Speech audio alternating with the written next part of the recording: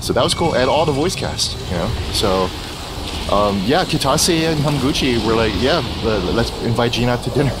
So sick.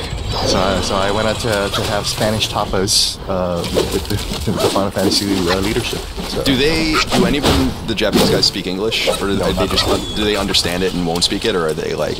No, they, they pretty much. They, they, they, uh, I, I, had translators with me, so. But I, the, the whole dinner was just me and talking. You know? That's awesome. I, yeah, I, I, had two, I had two translators by my side, so like it was like the so like with two people by my side, like that felt like more, a lot more rapid fire. Like the conversation was actually pretty free flowing. So feel bad for the translators almost where they have to like they can't they talk. Can, yeah. yeah. I mean, like they try to have a conversation with me, and then like Kitase would be like, "What? What are you guys talking about?" no, shut up, you. Yeah, um, yeah. Like, like we be joking about something, and like, "What's so funny, guys?" like, okay, well, we gotta explain to him now. it's funny, man. I, I asked that just because and I've said this on Sacred in the past, I was always just so tickled by meeting some of the Japanese devs. Uh, Inafune is definitely one of these guys that totally understands English, but refuses to speak it, I think because they're embarrassed, or they don't think they speak English well. So you could often speak to him and he would not need a translator, but then would speak to the translator and speak back to in some sense. Yeah. Or he would like clarify something with the translator. I love that. I think Kojima is the same way. So. Yeah, yeah, probably.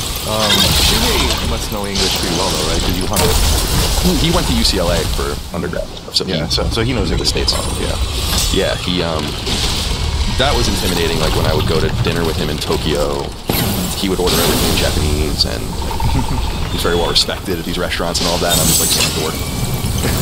Struggling. Yeah, he's like regular, like, like, oh, Mr. Yoshida, uh, Yoshida-san, you know? Yeah. that, that, that must have been cool, yeah, too. Yeah, what's cool? natural element. So that's why like, like, like these guys were in my natural element. Right. You know, the Spanish shop bar restaurant was like a place that I would, like recently took someone out and date with. You know, so I was like, yeah, well, yeah, this is a good date night spot. So you know, I was super proud of it. So. And he asked a lot of questions about DC and about like journalism, like you know, like and and I told him about like you know the prisoner exchange that Biden just did, and how, right, right. We, we had our own like prisoner exchange like about nine years ago. Um, interesting. Yeah, you got them a little. It would have interesting to, you know. It would have been. You got them a little late. But it would have been interesting. uh, with these silly strands, you're all the more like Wukong. Just don't prance around with your might as he did. That monkey's got a stash of treasures. I'll scout around some more.